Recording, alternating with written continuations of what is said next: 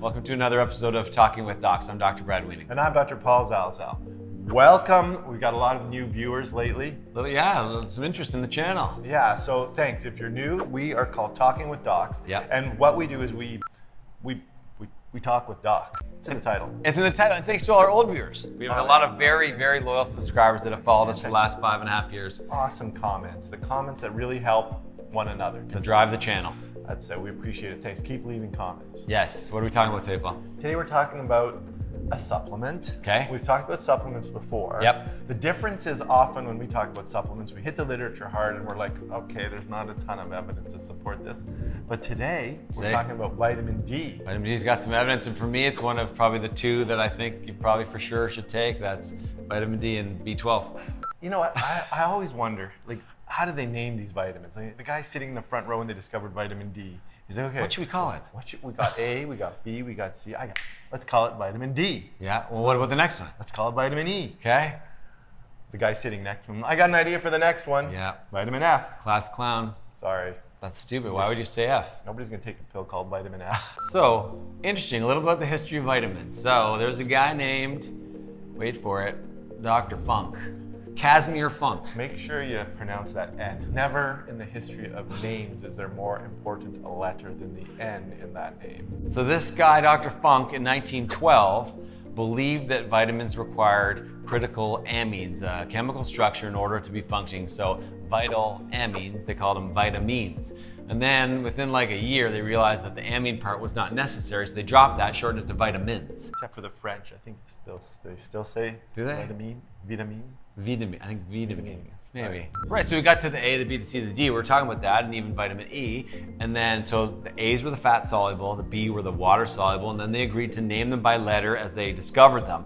But then they got to F, and it. actually they named vitamin F, but it turned out to be omega 3 and 6 fatty acids. And then they discovered G, and G was actually vitamin B2, riboflavin. So they actually made a bunch of mistakes. And so they reclassified them, but they did get to vitamin K. And K is called vitamin K because the German word coagulation, um, and vitamin K is involved in the coagulation pathway. And so they kept that one, vitamin K, and rest And we use vitamin K clinically. If Yes. someone has come in uh, on a blood thinner known as warfarin or Coumadin, Coumadin, you probably heard of uh, probably heard of it. Then to reverse that, we give vitamin K. I remember residency giving a lot of vitamin A lot K. of vitamin Back K. Coumadin was really common. Coumadin is not as commonly used now, No. uh, so we don't use vitamin K as much. But definitely, that was uh, it had its role in therapeutics.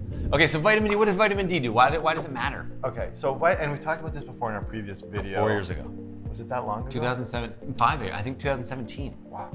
Okay, we talked about bone health. Yes. And that's still there. Okay, that still has good evidence to support the use of vitamin D in maintaining good bone health in the prevention of osteoporosis and the treatment of osteoporosis. We've got a video on osteoporosis. Right.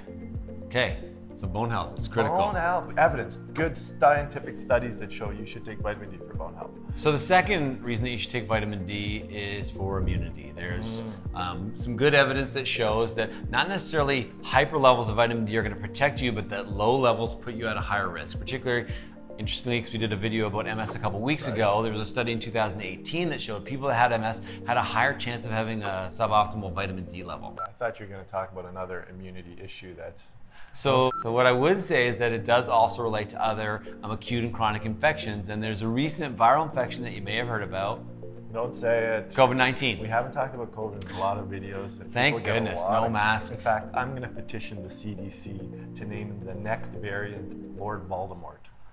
So that we don't talk. So the nerds like me who know Harry Potter will say we don't talk about it. Yes, it has a role in um, the severity of the flu and COVID-19. It probably does not prevent you from getting it, um, but it often has been shown to reduce the severity. So people that are sick in the ICU have been shown to have a higher chance of lower vitamin D, and getting back to normal has a higher chance of helping fight the infection. Okay, and then supplements, evidence for supplements, is it as good as for bone health? The scientific evidence to use vitamin Yes. D for immunity? No, not for me. The evidence Yeah. is not as good as for bone health, but you're taking it for bone health anyway, so you're gonna get the bonus. There you go. Yeah, Doesn't matter why you take it. sure. How much do you take? That's a good question. Uh, there's a variation in dosages. I personally take 2,000 international units. That's Yeah. how vitamin D is measured, international units. Yeah. Um, but the range, I think, is about 600 to 2,000. Yeah, Some and if you take more. Yeah, if you read some people talk about four and five thousand and ten thousand, there's not any good supporting evidence to take the mega doses, and that is Yeah. being researched right now, particularly in light of COVID nineteen. Yeah, now of course, if you have a deficiency and Yes. you're prescribed for a deficiency, the dose may be different. And really, you always want to talk to your healthcare provider uh, before you start taking a supplement. So check this out before. And, and the other important thing about vitamin D is it's it's a fat soluble vitamin. A, D, E, and K Yes. are fat soluble. So what does that mean? If it's fat soluble. It means that if you take a whole bunch of it, it can be stored in your fat. You can actually have vitamin D toxicity. Right. Unlike uh, water soluble vitamins like your vitamin C, for example, vitamin B. Yep. Those things you just pee out, right? Expensive urine. Well, yeah. Yeah. Hopefully it does something in this way. Sure, sure. Yeah, so immunity. Number three, heart disease. Yeah, so good evidence to show same group of people, the people with low vitamin D, higher chance of heart attack, stroke, even diabetes and high cholesterol. Like these things are all related to low vitamin D. So again, we got to get you to a normal level. Super levels do not protect you, but that may be a, a reason to consider testing if you do have other medical conditions. Your family doctor probably has to keep that on the radar. Right. So, so there is sci- there is subtle here. There is scientific evidence that says if you're deficient in vitamin D, you're at increased risk of heart disease Right. and diabetes and things like that. However, there's not a ton of good evidence to say that if you take a supplement and you're not deficient, that you're going to reduce the risk of those things. But so there is an association established. Uh, we just can't tell you if the supplements are going to prevent that stuff. And some of the reach- researchers were wondering, oh, maybe it's because these people just have make bad life choices and they have high blood pressure and heart disease because they don't exercise and they eat bad food and they don't go outside and all sorts of other things. So it's hard to essentially tease them out, but low vitamin D was related Right. So there's some bias in those studies. a little bit.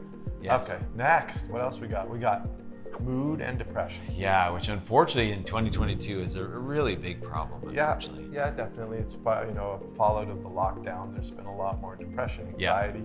Uh, so there's an association with uh, vitamin D and uh, mood and depression anxiety. And you wonder if that's all related to seasonal defective disorder or SAD. Yeah. I said defective. Seasonal defective, no, not STD. That wouldn't be sad. That would be SID. Yeah, Yeah. yeah. No, seasonal affective Yeah. disorder, where people don't go outside, they don't get natural light, it makes them sad and depressed, reduces their mood. And that relates to vitamin D. How? Why does the sun even matter to vitamin it, D? Right, that's the thing. Vitamin D in our bodies, we can make vitamin D with exposure to sunlight, right? In our skin.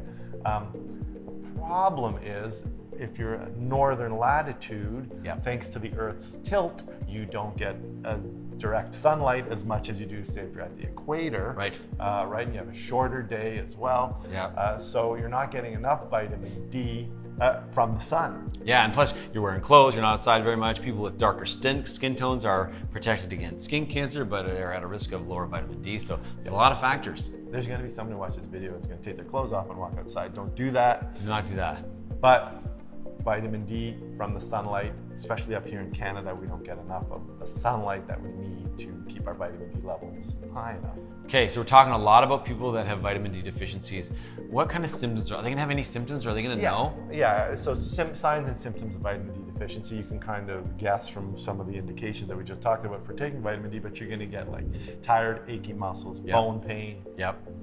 Um, you're gonna be fatigued, and then worst case scenario, if your vitamin D goes really low, you're going to fracture easily. yeah, you can bones have will break. sp- spontaneous or low impact fractures. So that's a, a high a risk setting where you're making makes you wonder whether you should be tested or not for low vitamin D. And as orthopedic surgeons, we used to see that uh, fallout of vitamin D deficiency in a disorder called Rickets. rickets, right?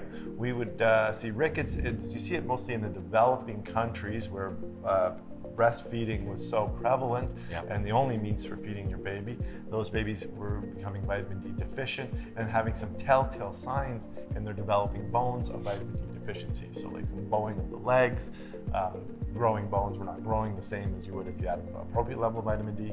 and of course, risk fracture. There you go, a little history of vitamins, history of rickets. A lot of, lot of good information today. You, you better go play Trivial Pursuit right now. You're gonna win. You'll be ready. Choose the green pie, science, or no, I guess it'd be the health pie. I think Science and Nature, Science, wasn't it? I think yeah. that I'm not sure if they've changed it. Yeah. Canadian invention, Trivial Pursuit. Did you know that? Yeah. No, I knew that actually. Yeah. Two guys. Um, if you like this video, please like it, subscribe to our channel. And remember, you are in charge of your own health. We'll see you next time.